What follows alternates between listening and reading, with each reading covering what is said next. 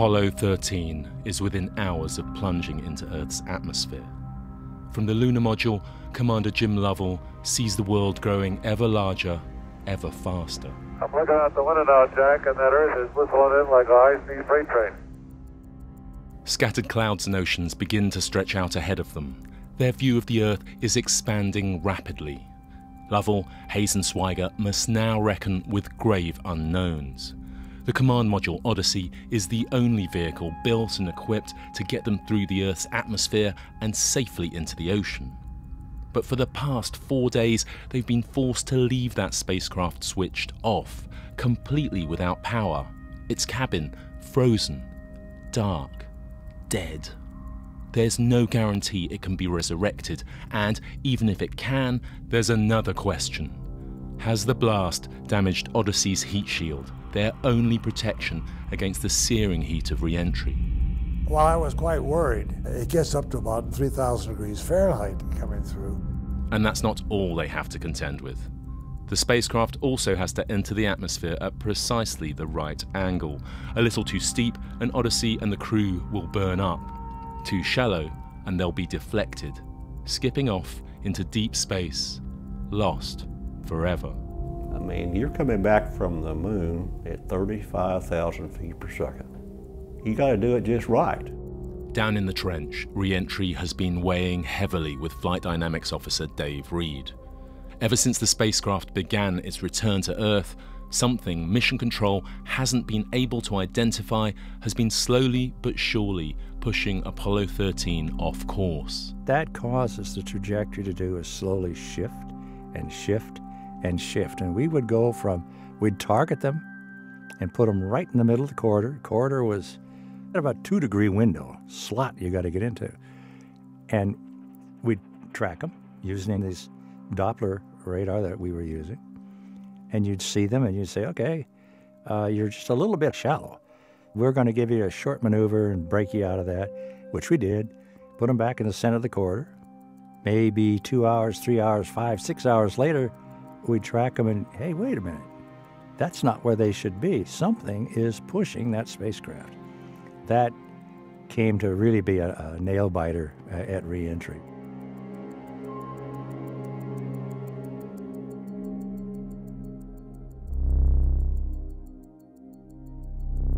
From the BBC World Service, this is 13 Minutes to the Moon, Season 2.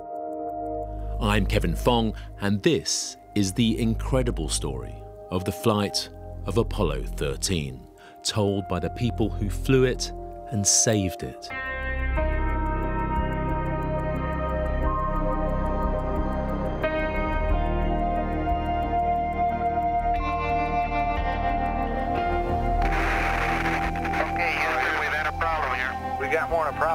Lost uh, O2 tank 2 pressure. That can't be. Let's make sure we don't blow the whole mission. There's one whole side of that spacecraft missing. That's the end right there. Episode 7 Resurrection. Aquarius Houston, your attitude looks real good. Uh, we will give you a mark at 10 minutes to the burn, which is in 28 seconds. Okay.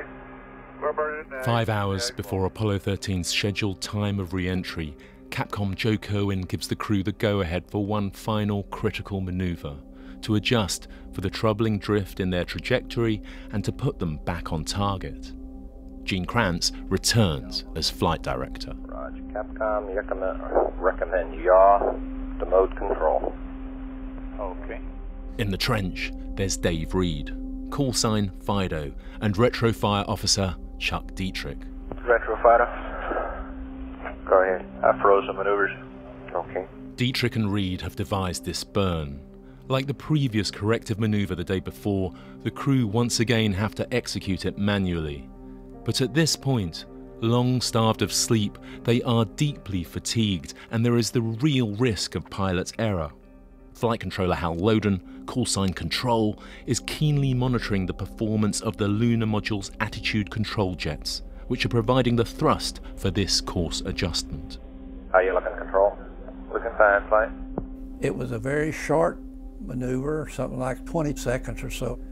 As I recall, you, to get into the proper attitude, he had to use the earth as a celestial body to make that alignment. We're burning. Raj. Did it not occur to you in mission control that this might be a worryingly risky maneuver? Looking good. Raj. Well, yeah, you're, you're depending on the, the tracking information you've got. You're depending on uh, the systems to have aligned you to where you wanted to be. Now you couple that with the fact that we're doing it manually, you know, yeah, you pucker a little bit more, but you still have a confidence that, yeah, this is going to, you know, the fact that we had gotten them that far, I was feeling pretty good. The 23 second burn comes to an end. Good show, Aquarius. We're tweaking now, Joe. Roger. Flight Fido. No Fido. No trim, no nothing. He's good right where he is. Capcom, he's good right where he is. Aquarius Houston, you're good right where you are. Okay, that's it. They're back on target, at least for the time being.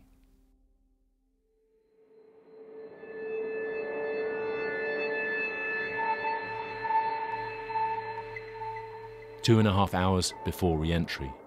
It's time to find out if Odyssey can be powered up and brought back to life. The astronaut now firmly in the spotlight is Command Module pilot Jack Swigert. Houston Aquarius, uh, Jack's entering the command module now. Okay, Jim. I still have nightmares about this. EECOM flight controller John Aaron. He's on console for Apollo 13's return. For four days and nights, he's been at the forefront of devising the scheme that Swigert now has to put into practice. To once again get electricity flowing through all its essential systems and keep those systems running on the precious, limited reserves of energy in Odyssey's three re entry batteries. Swigert must follow page upon page of step by step instructions describing seemingly countless circuit breakers and switch throws, all the while floating in the cold and in the dark.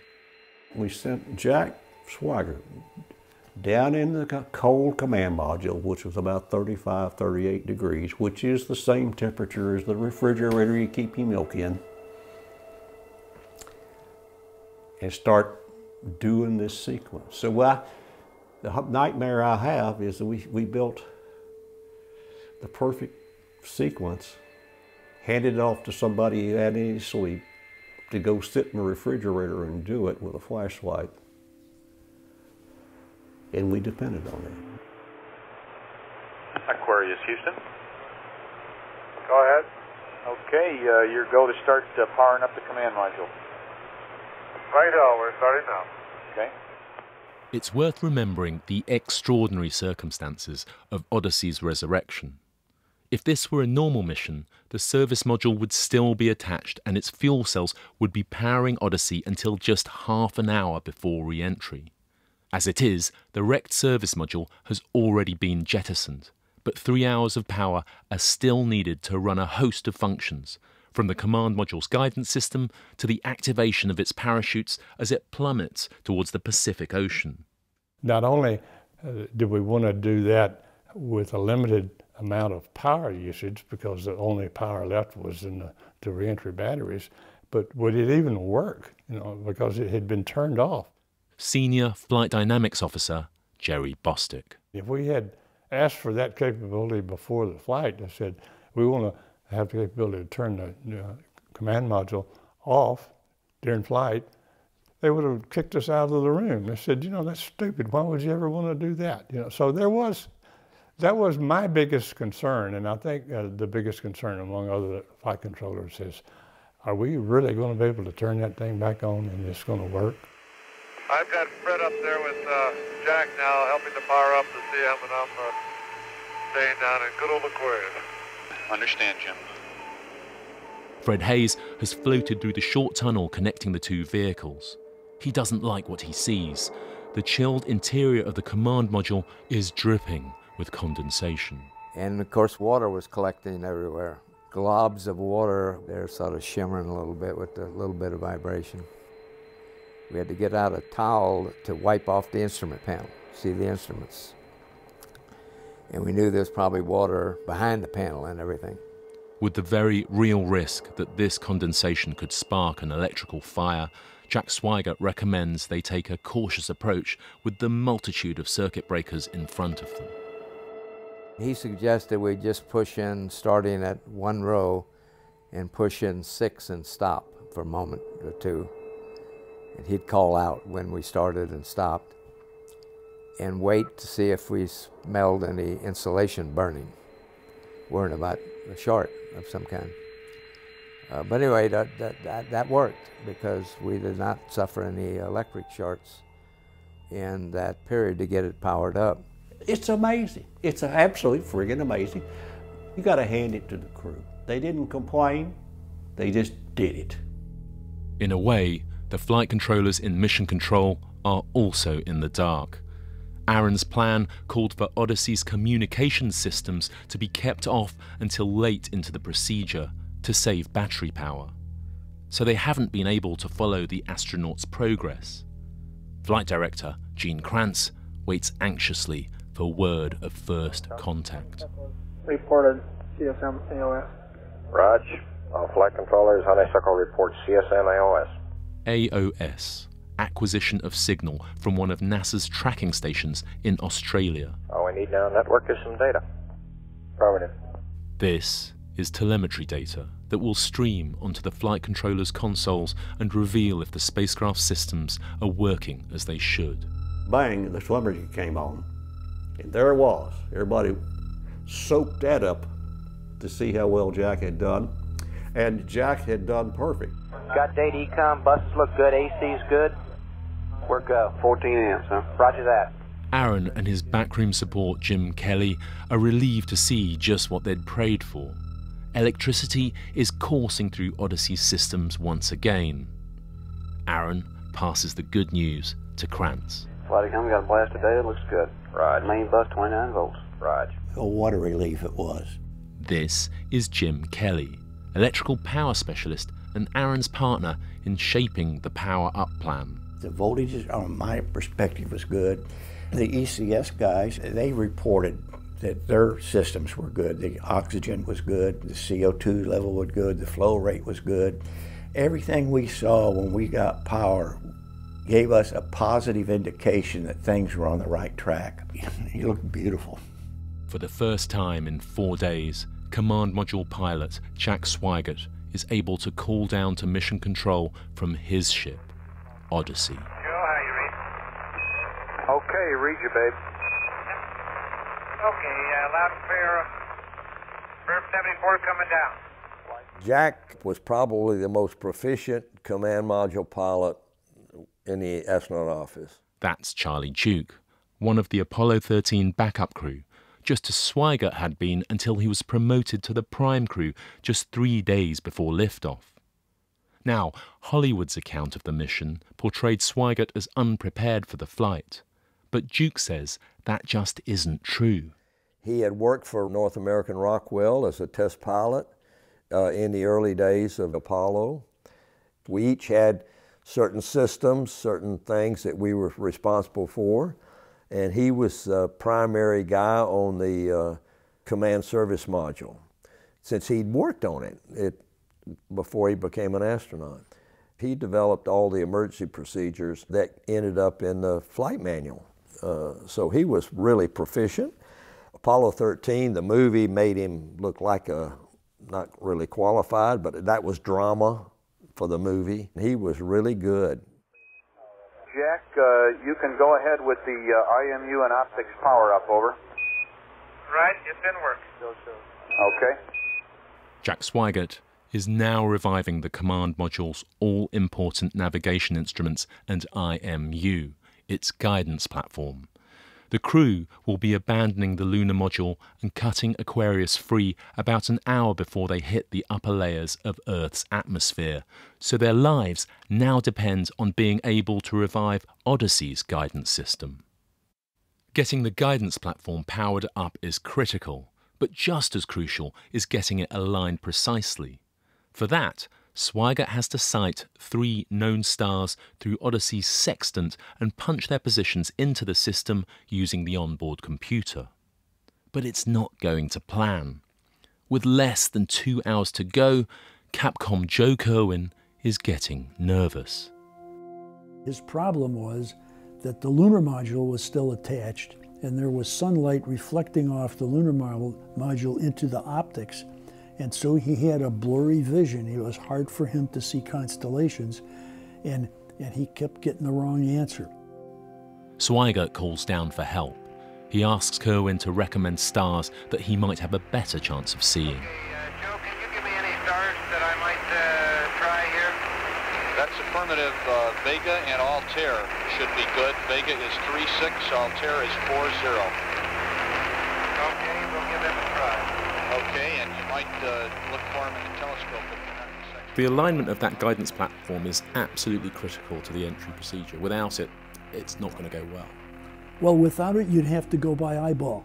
And if you went by eyeball, you might be several degrees off in your attitude at, uh, at, the, at the entry interface and therefore you might have a tendency to skip or, or uh, dive in or you know just just be wrong so i'm sitting there at the capcom console looking up at kranz who is standing at his console and time is moving on and jack is sweating it out and i'm looking up here and gene just didn't say where he just sort of like that waved his hand down at me saying give him a little time give him a little time and i remember i'm reading from your oral history, I mean, you say that you were sweating bullets during that alignment. Well, I thought it was extremely important, and I and I thought, what if he doesn't get it? Come on, what if what if we try to get it so long that we miss some other step or get too close to re-entering the atmosphere? But I was a good Capcom. I didn't say a word. After what seems like an eternity, Swigert shouts his good news through the static.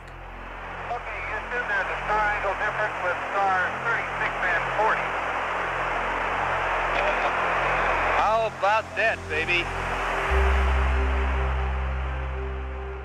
So we were set with a good good ship again, miraculously, after you know four days of abuse. As soon as Odyssey has its bearings, Lovell announces he's making the lunar module's final maneuver. Aquarius's job is almost done. Roger that. Uh, copy your maneuver to the LEM jet attitude. Is that right? Lovell fires the LEM's attitude control jets to put them into the right orientation so it can be cut loose.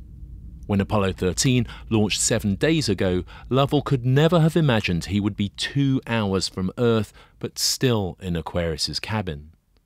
Had the mission gone to plan, Aquarius would have taken him and Fred Haise down to the moon and after transporting them back to Odyssey, it would have been jettisoned in lunar orbit. Instead, Aquarius was repurposed as a lifeboat, and it's kept them alive for four days. Cold, cramped, and uncomfortable it might have been, but the power and water held out, and the LEM's propulsion and flight control systems successfully got them through maneuvers it was never designed to perform. But now, as the gravitational pull of the Earth continues to accelerate them, Aquarius ceases to be a life saving refuge and instead becomes a threat to their survival. Charlie Duke. Well, Nobody had ever brought a lunar module back before from the moon. And what is this vehicle going to do when it hits the atmosphere? Is it going to cartwheel back into the command module? We didn't know. So, the more distance the crew can put between the vehicles at separation, the safer they'll be at re entry. But there's a problem. The standard means of cutting the LEM free aren't available to them. The normal way you separated from the LEM was you used the thrusters on the service module to back away.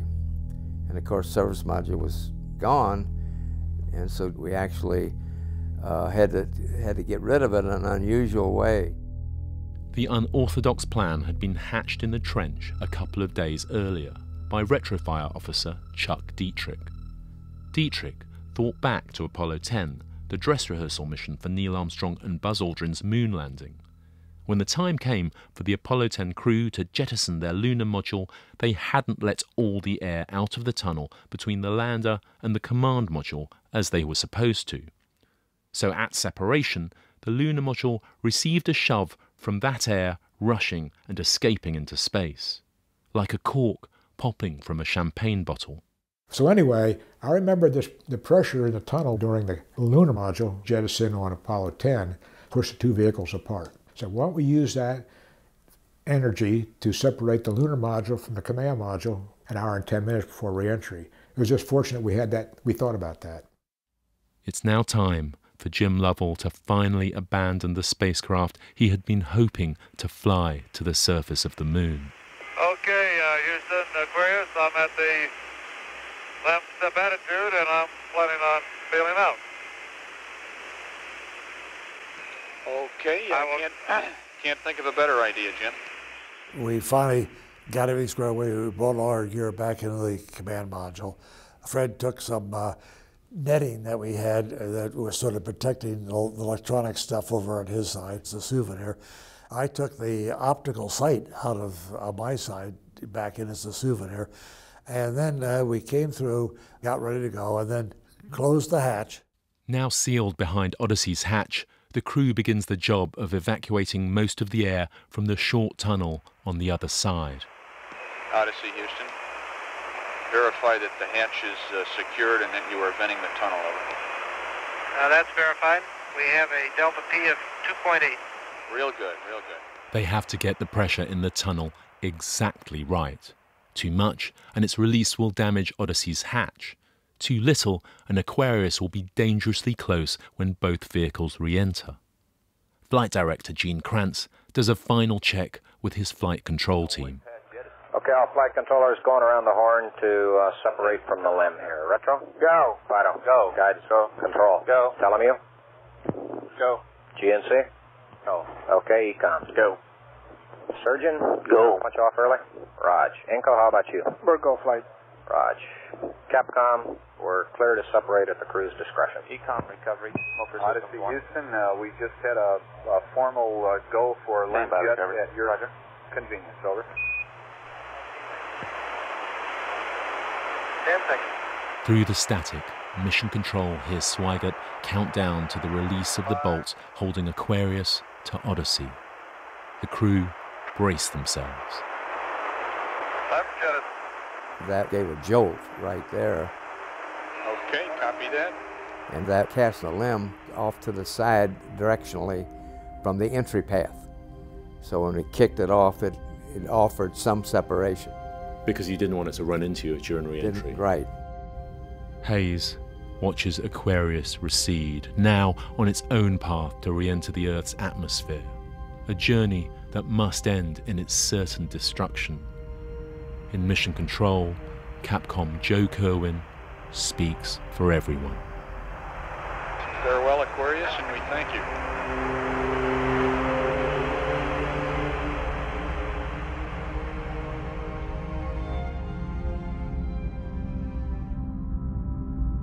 What was that moment like for you, Fred? This is your ship, this is your lunar module, and it has served you well the last few days.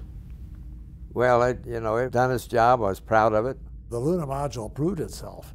There was theories about can you use the lunar module to get back home in case something happened, but had never been thoroughly investigated. This proved it was possible. It had uh, served in a different way than we had planned, obviously, but it held together the whole way and uh, got us got us to where we were. She was a good ship, LEM 7, Aquarius.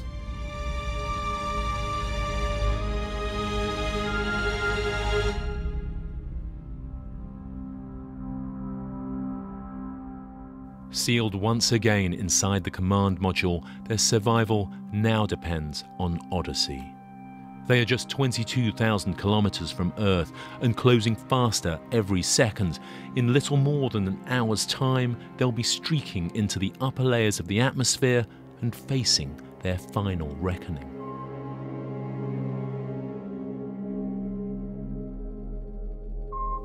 Around the world, television networks have begun their coverage of Apollo 13's return.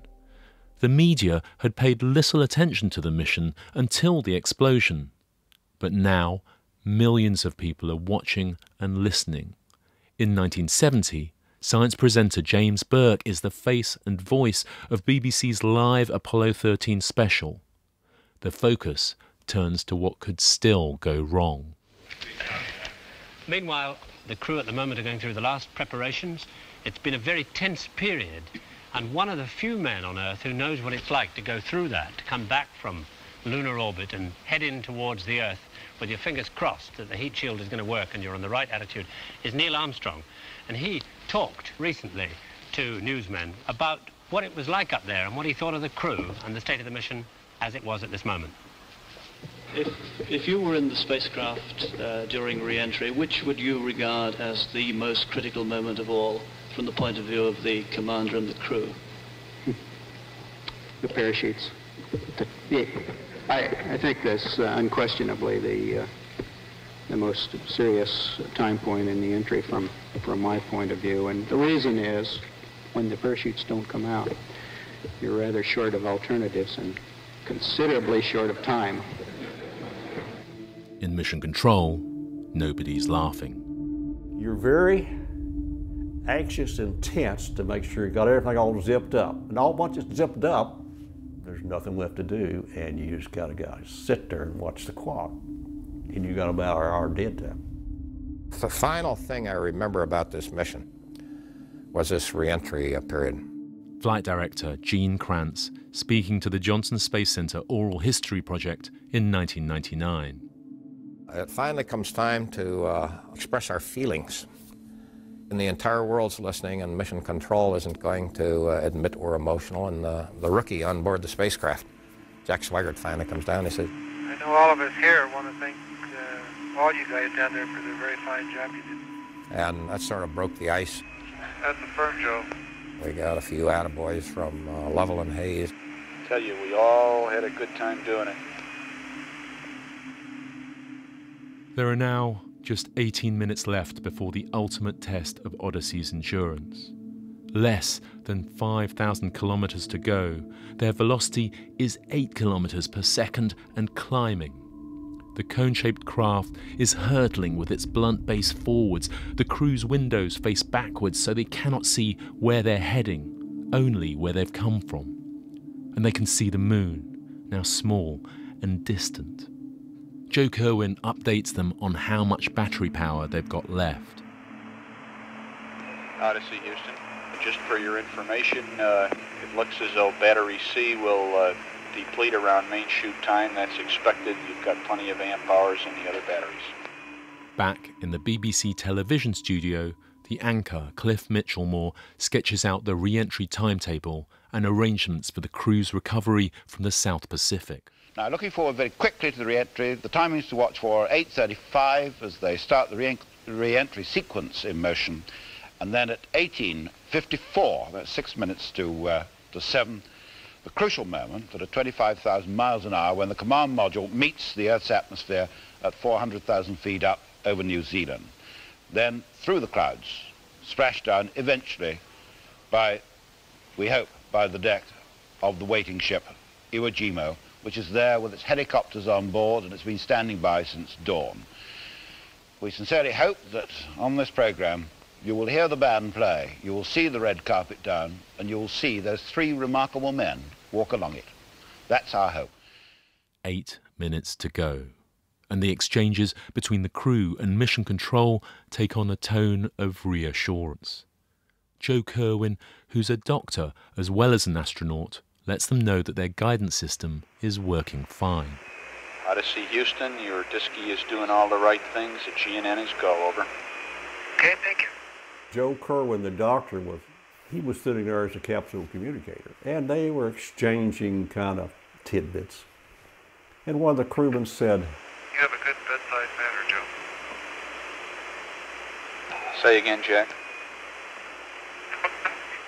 you have a good bedside manner. He said, "Joe, you had a wonderful bedside manner." That's the nicest thing anybody's ever said. Just five minutes now remain, and Gene Kranz asks for a final status check from his team. Okay, all flight controllers, last time around the horn here. How you looking, GNC? Everything's good. Flights are about 26 degrees off the 05G pitch. How about you, EECOM? Looks good here, flight. Raj, how about you, guidance? Go, flight. Fido? Go. Raj, retro? I'm go, flight. Okay, Capcom, looking all good here. Odyssey Houston, over. Go ahead. Okay, we just had one last uh, time around the room, and everybody says you're looking great. Thank you. The air to ground conversations are about to become impossible. When Odyssey hurtles into the upper atmosphere, its forward facing blunt end will rapidly heat up to temperatures close to those at the surface of the Sun. If the capsule's heat shield is undamaged, the crew will be kept safe. If not, the relentless toil of the last four days will have been for nothing. But either way, they'll be in communications blackout. The fierce heat will charge the air around them, creating a wall of fire through which radio signals cannot pass. For three minutes, Mission Control will know nothing of the fate of the crew and their capsule. There's one final message from Joe Kerwin, telling Lovell and his crew when they should expect loss of radio contact with the outside world. Odyssey Houston, over. Go ahead. Okay, LOS in uh, a minute or a minute and a half. Uh, at entry attitude, we'd like Omni Charlie. And welcome home, over. Thank you. Velocity now reading uh, 35,646 feet per second. Uh, range to go uh, 1,961 nautical miles. I was feeling pretty good. Flight controller Hal Loden. And I think the control center in general was feeling pretty good. We only had one more critical thing to get through reentry. Yeah, it's the most critical of all. But I don't think there was any apprehension that this was not going to be successful. But there is anxiety in the trench, where the team have been tracking and shaping Apollo 13's trajectory. In the final hours, Odyssey's flight path has continued to shallow. The risk that they might skip off the atmosphere and be lost in space looms large in their imagination. Retrofire officer Chuck Dietrich. The thing that really bothered me, you know, we did a mid-course correction to get right at six and a half degree flight path angle. And now we're down to 6.2, and that really kind of made me a little nervous.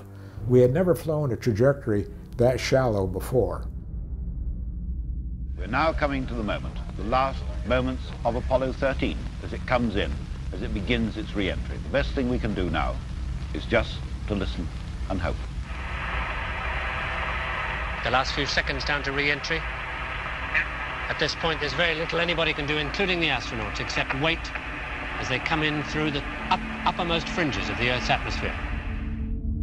Finally, you know, they hit the interface, they hit the entry interface, and uh, blackout starts. Com goes off.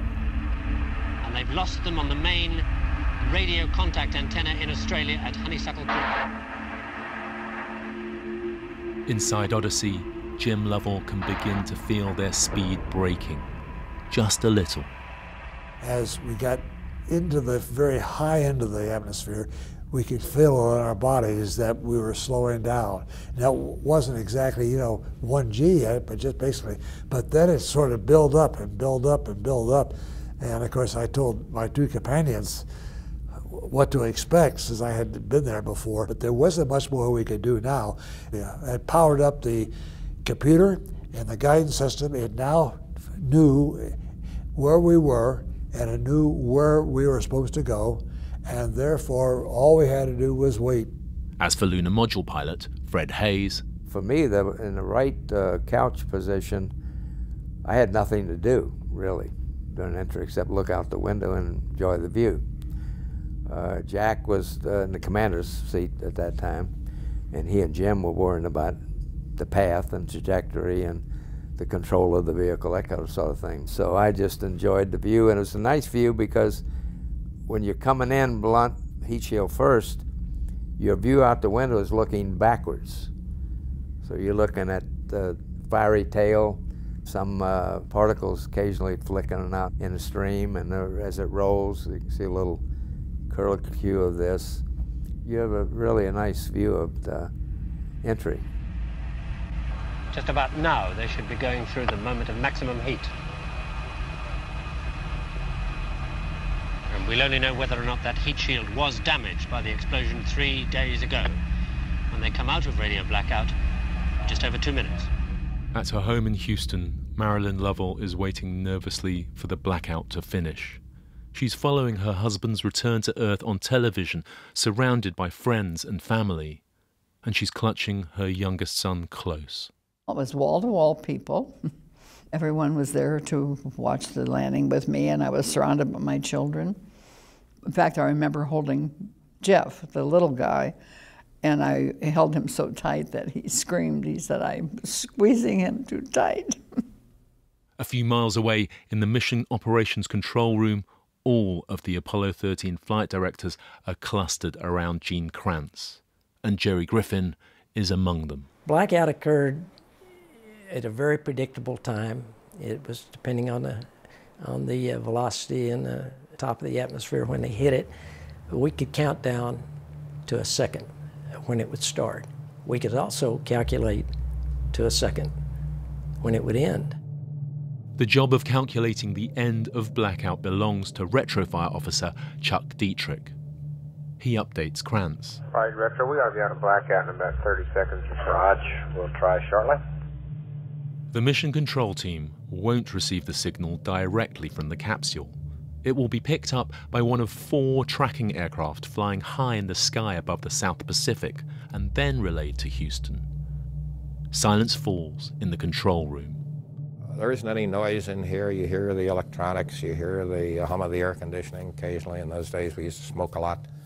Uh, somebody will hear a rasp of a Zippo lighter as uh, somebody lights up a cigarette, and you drink the uh, final uh, cold coffee and stale soda that's been there. Less than 10 seconds now. Uh, we will attempt to uh, contact Apollo 13 through one of the Orion aircraft. Continuing to monitor this Apollo Control Houston. And each controller during blackout, this is an intensely lonely period because you, uh, you're left, the crew's on their own, and they're left with the data that you gave them, maneuver data, attitude information, all of these kinds of things. And each controller is going back through everything they did during the mission, and was I right? And that's the only question in their mind. No one is feeling that responsibility more than Chuck Dietrich and Dave Reed in the trench. The kicker for Chuck and myself was that that last maneuver that we gave them was based on the best vector that I had, and he the best maneuver he could come up with to put him in the middle of the corridor, and they should have had a reentry blackout of only three minutes. That's not what happened. On board the tracking aircraft, the crew listened through the static for any sign of Apollo 13. Okay, you should be, should be coming out of blackout now. Can you see him?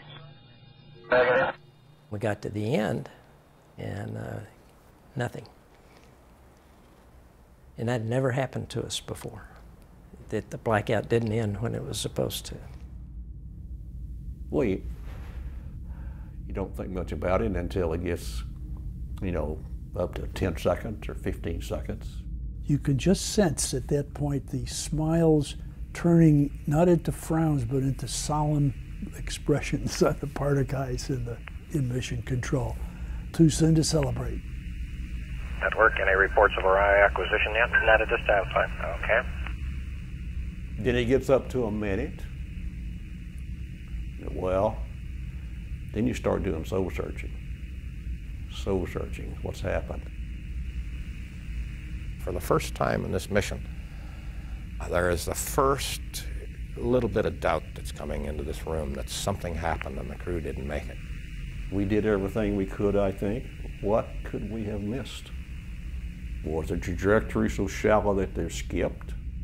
Now, this is putting a lot of gravity down there in the trench because Chuck and I knew we were the last two people to do anything hands on with that spacecraft.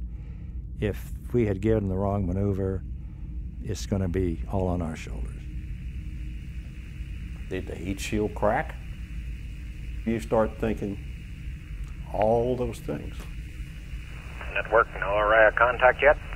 Not at this time, flight. You've got communications with the Orion? That's affirmative. Okay. It was so quiet, you could hear a pin drop because it was so tense, very tense. And I was really worried at that time. I thought, my gosh, you know, we have performed all these miracles, and now maybe we have lost them. So that was one of the most depressing times I think in my life. I thought, oh my gosh, this can't be happening.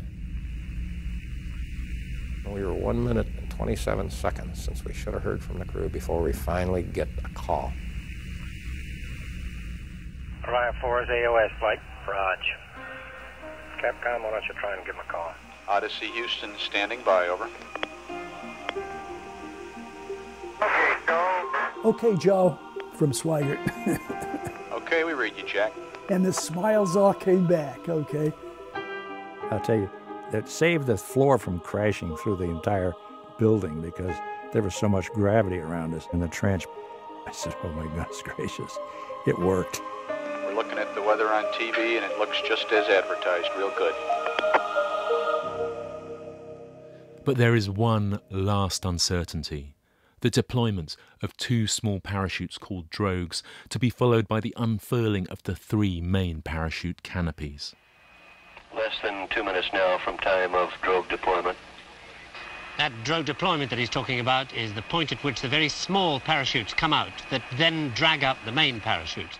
There was a little bit of a shock uh, at a point when you got about 60,000 feet, I think, where the drogues came out. There's a rumble of that, hatches blowing off, and then the chutes, and you could watch them. You're, you're looking right where they're streaming out. And of course, a little jerk when the, the drogues deployed to stabilize the capsule as you got into thicker air. A report of uh, two good drogues coming up now for main chutes. Then, of course, there was the bigger jolts of the main chutes coming out. There they are. There they are. They made it. Mission control erupts. Odyssey Houston, we show you on the mains. It really looks great. And the intensity of this motional release is so great that I think every controller is silently crying. You just hear a whoop, and then you're back down to business again. Got you on television, babe. You see the beautiful, very large parachutes with the command module hanging under them, gently kind of floating down. Doesn't that look beautiful, you guys? You bet. Oh, man. And you know, we were sitting there watching video live from the deck of the ship. That was pretty. Looky there. Beautiful sight. Retro Chuck Dietrich. We were all happy.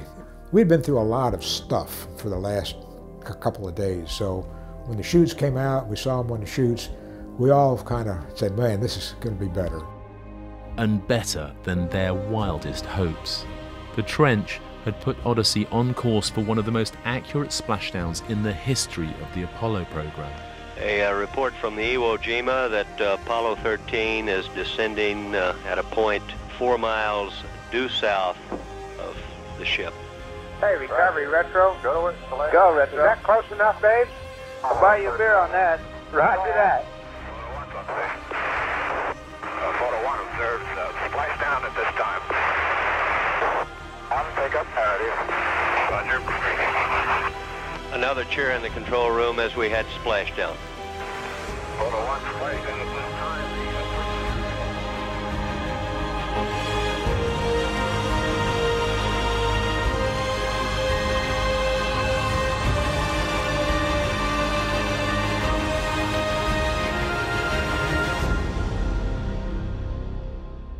Yeah, it was a very nice feeling, really, now that we were back on the water. Yeah, that felt very good because the command module was still cold.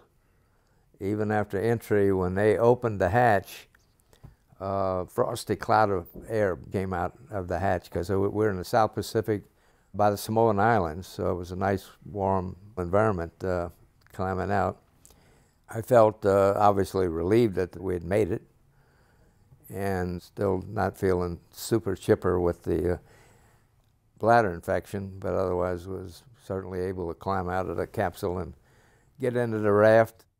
I was worried about Fred Haise, so I got Fred on the helicopter first, and then I got Jack second, and then you know the commanders of sinking ships are always the last to leave, you know. and, I was bound and determined I was going to be the last guy to leave this thing, so I was. I was the last guy to go. And for Marilyn Lovell, the sight of her husband Jim Lovell climbing out of Odyssey throws the family home into uproar. Everyone was screaming. it was fantastic. The, probably the biggest relief I've ever had in my life. I believe not only did it bring tears to a lot of people's eyes in our home, but after knowing about NASA and the men sitting down and wiping the tears from their eyes, you know how, how tense all that was. Flight controller Hal Loden. I remember Gene Kranz, he actually had tears in his eyes. He was so emotional. And I did too. I think there were a lot of people. You know, I'm getting emotional talking about it now. It was, I keep explaining. I'm sorry. My prayers were answered.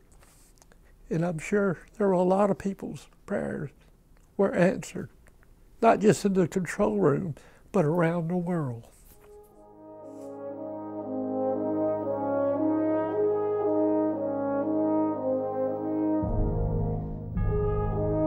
In the control room, the splashdown celebrations begin in traditional style. Our celebration always started with cigars, and they got to be good cigars because nobody in mission control is going to smoke a bummer. And we had some darn fine cigars. There were about 700 that we had acquired. And it not only went through mission control teams, our back rooms, program offices, went to factories, the laboratories. Everybody had their mission cigar to light up at the same time that we did. And it was, uh, it was uh, really uh, spectacular. Anyway, once you get the cigars lit up, there's all the attaboys and celebration mission control. Then you unlock the doors because they'd been locked. And the real heroes uh, start pouring in at that time because these are the folks in the back rooms who came up with the answers we needed when we needed them. Among them is Jim Kelly, who'd worked side by side with John Aaron to do the impossible with Odyssey's meager power reserves. I was, I'm happy I was there. But in terms of being a hero, no. One of my youngest kids one day called me a hero, and I looked at her, I says, no, we weren't heroes. We're ordinary people with a basic understanding a little bit of physics, a little bit of math, a little bit of science. And that's all we had. Just normal people. As for John Aaron, he tells me he had only one cigar and then went straight home to bed. And I'm probably not the only one that did that. I went home and went to bed. I was totally exhausted. But, you know, a couple of days, I went back to work and uh, we started redesigning this command module and service module to see, okay, how can we make it better? And we redid the, the whole architecture of the fuel cell system and we added two extra tanks, put another hydrogen tank, put another oxygen tank, put a 400 amp hour battery in there. and uh, we were on our way back to the moon on Apollo 14 in nine months. It's just amazing. That was back in the days when you could really do something.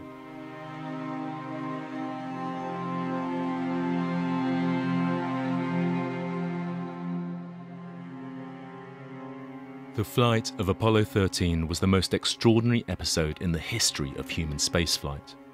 A rescue against all the odds, a victory snatched from the jaws of almost certain defeat, a crew delivered from a moment of disaster across hundreds of thousands of miles of space and returned safely home again. There is so much that we might learn from the people who flew and saved that mission, even today, perhaps especially today. In the face of crisis, no matter how apparently insurmountable, we must act. We must do so urgently and decisively. We must delegate authority, defer to expertise, and understand where in the system that expertise truly lies. We must know when to lead and when to get out of the way. We must know when to follow, but learn to take full ownership of the tasks that fall to us.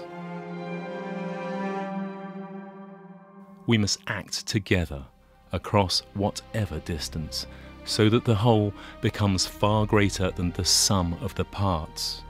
And we must never, ever give up, no matter how impossible the future might suddenly appear, because within all of that lies a kernel of hope and determination that might grow into something much more.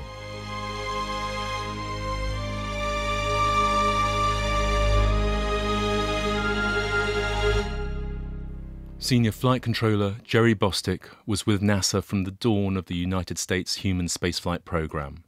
For him, the saving of Apollo 13 offers us a roadmap for tackling any kind of crisis, be it in space, on Earth, or in our own lives. What's the secret, Jerry? Uh, you know, if you're studying this now and you're trying to explain how you as a team of people get this crew back from what looks like certain death, what is what is the secret? Well, it's a step-by-step sequence, uh, and uh, I try to explain that to especially young people. You know, you, you you're going to face problems in life that you may not be able to see the end solution, but you know what the desired solution is. So you just take it one step at a time to head in that direction, and uh, don't ever lose sight of the end goal. But don't try to to get there immediately. Just take it one step at a time and, and have confidence in yourself. And if you're working with a team, you know, obviously you have to have confidence in the whole whole team. But uh, rely on your teammates. Don't try to do everything yourself. John Aaron, too, is proud of his part in the rescue of Apollo 13 and the success of the other Apollo flights which came before and after. The Apollo missions came thick and fast. It was just four years between the first flight around the moon on Apollo 8 to the final lunar landing of Apollo 17 in 1972. It's no wonder John Aaron could only fully comprehend the enormity of these achievements years later. We didn't get a chance to look back and reflect on it. It was terrible. It didn't even keep anything. I didn't even keep the piece of paper that this power profile was sketched out on. Goodness. I guess we were just young and naive and thought this space program was just going to go on forever like this. The world doesn't work that way. Jerry Bostick, yeah, I asked a question one time about, uh, you know, did you have time to uh, to really enjoy the accomplishments that we're doing? And I said, well, the answer is no it, I always compared it like fine wine was being served at this table and we were chug-a-lugging it. Because as soon as we went, it was balls out to do the next one. And then there's Jim Lovell, the pilot on the first mission to fly to the moon and the commander of that extraordinary flight in April 1970. Jim, after all this time, we're 50 years on from that mission, what has it come to mean to you in your life, the mission of Apollo 13? Well, in reality, I, I think when I look back on my life, I can leave it with a sense of uh, achievement. Look at it in a sense that, hey, inadvertently perhaps, somehow I happen to step into the right spot at the right time and be thankful that I could look back and say, hey, I did accomplish a little bit something unusual.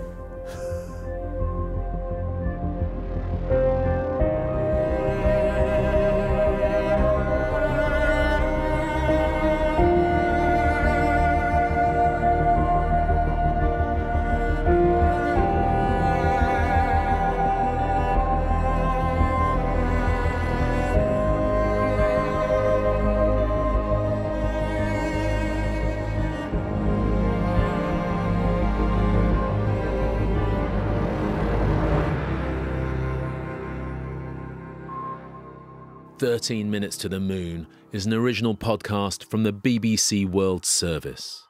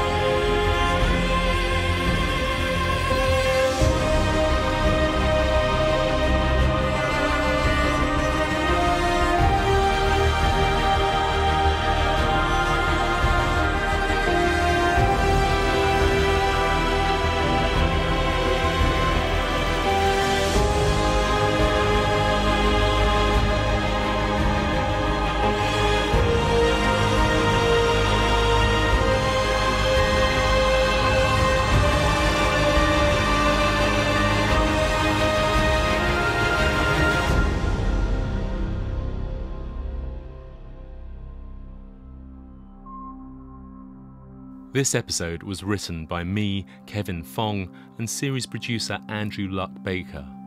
Making sure that we were dead centre in the re entry corridor was series editor Rami Tzabar. Our theme music was by Hans Zimmer and Christian Lundberg. Technical production was by Giles Aspen. And our story editor was Catherine Winter of In the Dark at APM Reports. Now, this being the final episode of the season, there are many people to thank. There's NASA and the Johnson Space Center Oral History Project for the archive material, and Simon Plumpton, Issa Seng, and Ben Feist for helping us navigate through the mission loops. We're grateful too for technical advice from Johannes Kemppanen and David Woods of the Apollo 13 Flight Journal. We also owe a great many thanks to William Reeves for putting us in contact with so many of his former colleagues in Mission Control. But our biggest thanks go to you, our listeners. It's been wonderful to learn how many of you have been inspired by the story of Apollo 13 and by the people who've wrestled triumph from disaster.